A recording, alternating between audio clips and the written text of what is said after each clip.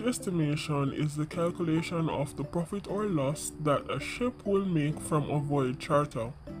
The estimation is arrived at by deducting all related expenses from total income. Now, here we have the formula sheet. If you've noticed, I have highlighted number 7 because that's not that's not normally given on a formula sheet. So I've added that one for you.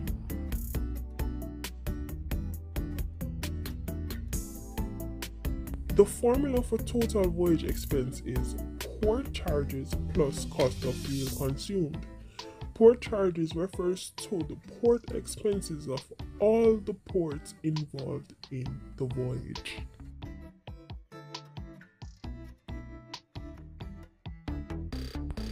There are four factors to consider when calculating the cost of fuel consumed. A. The voyage time, which is the time in port plus time at sea. B. The time at sea, which is the distance over speed. C. The quantity of each fuel consumed in the voyage. And D. The total cost of each fuel consumed. Here are some more facts. The IFO is only used at sea, while the MDO is used at sea and in port. Lastly, when calculating net freight, right, the brokerage commission is a percentage of the freight as agreed, and the freight as agreed is the cargo quantity multiplied by the freight rate. Now, let's do this question together.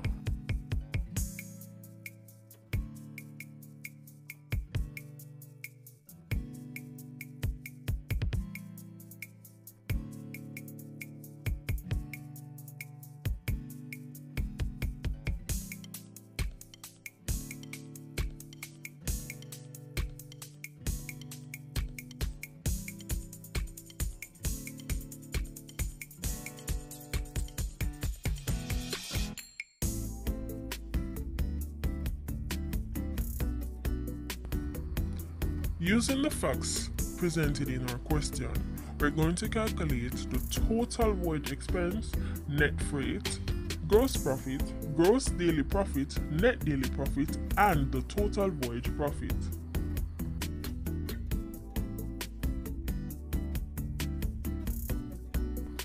So, step one, we're going to calculate the total voyage expense, which is port charges plus the cost of fuel consumed.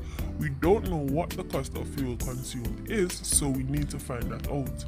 In order to find that out, we have to find out the total voyage time, the time at sea, the cost of fuel consumed, and the quantity of each fuel consumed.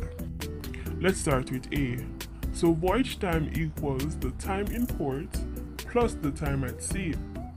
So the time in port, we know the time in port because the question states that the vessel stayed in Balboa for six days and in Georgetown for five days. So what we did was to add the six and the five to get 11 days. We don't know the time at sea, but we need to find that out in order to complete A. So let's go ahead and find the time at sea. To find the time at sea, it is distance over speed. So in this case, it is 4,600 nautical miles div divided by 21 knots. In doing so, the answer that you will get is 219. And we have to divide the 219 by 24, and that we will get 9 and that will be your days nine days. So that's what we're to put for the time at sea in our total voyage time the 9 and 11 plus 9 gives you 20 days. So the total voyage time is 20 days. So we still haven't found the cost of fuel consumed so let's move on to C, where we'll find the quantity of fuel consumed using the tons of fuel consumed per day while at sea and in port. And as we know, the two types of fuel are the IFO and the MDO. From the fuel consumption details of the question, we have gathered that we use 90 tons of IFO per day. So what we're going to do is put 90 multiply by the amount of days we spent at sea. And 90 times 9 is 810.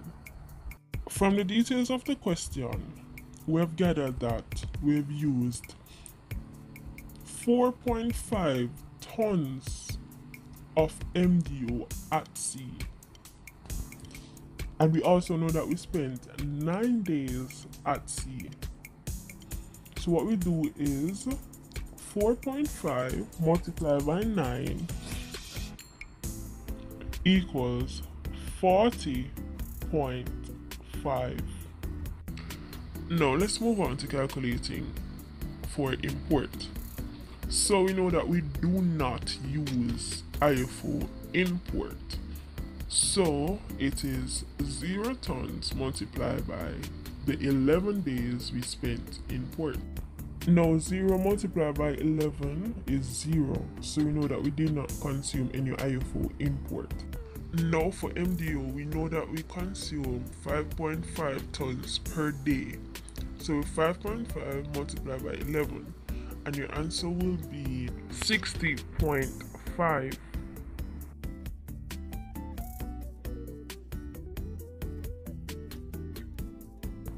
So in order to find the total of each fuel consumed, what we're going to do now is to add the amount of fuel used at sea and in port.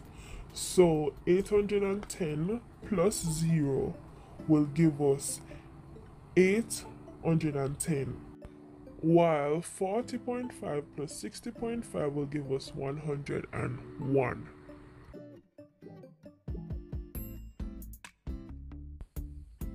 What we're doing right now is finding the amount of fuel used at sea and in port and the total amount of fuel used overall in this table. However, this section of the table is not what we need to complete the rest of our work, so let's continue. So I have highlighted the total amount of IFO and the total amount of MDO because that's what we need to complete section D of our question. Now, what we did here in section D was to multiply the quantity by the cost. So the question stated that it was $450 per metric ton for IFO and 725 per metric ton for MDO. So what we did here for IFO, we multiplied the 810 multiplied by that 450 and we got 364,500 and for MDO we did 101 multiplied by 725 and we got 73,225 and our total was 437,725 and that is how we calculate the cost of fuel consumed. Now it's time for us to plug it in the formula and the total that we will get is four hundred and seventy-five thousand seven hundred and twenty-five, and that's the total voyage expense. Now let's move on to net freight. So the formula for net freight is the freight as agreed minus the brokerage commission. So the freight as agreed has a formula and the brokerage commission has a formula. So the formula for the freight as agreed is cargo quantity multiplied by the freight rate. Then you have to find 3% of that freight as agreed to get the brokerage commission. So let's go. As stated in the question, the cargo quantity is 28,000 and the freight rate is $43. In multiplying the two, what we got was 1 million 204,000. Okay, so we bring down the 1,204,000. Then we find 3% of that 1,204,000. And our answer was 36